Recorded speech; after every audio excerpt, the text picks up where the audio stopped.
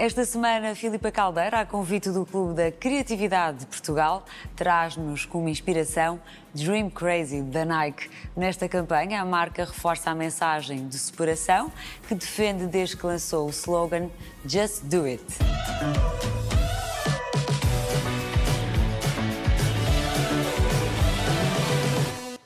If people say your dreams are crazy, Para celebrar os 30 anos do seu famoso headline Just Do It, a Nike desenvolveu a campanha chamada Dream Crazy. good.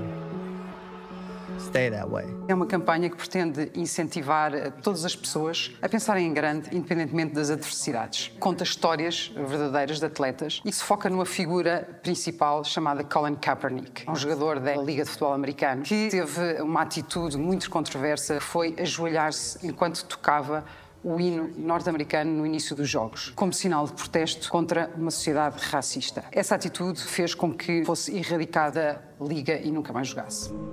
Don't try to be the fastest runner in your school.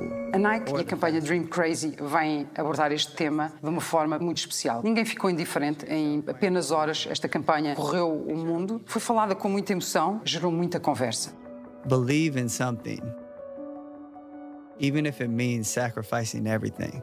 É uma campanha autêntica, não só porque conta histórias verdadeiras e de uma forma personalizada, mas fala como as marcas devem falar, é completamente on strategy. A Nike é uma marca que vai para além do desporto, que defende causas e valores e falo sem medo e esta campanha não podia ser melhor exemplo disso.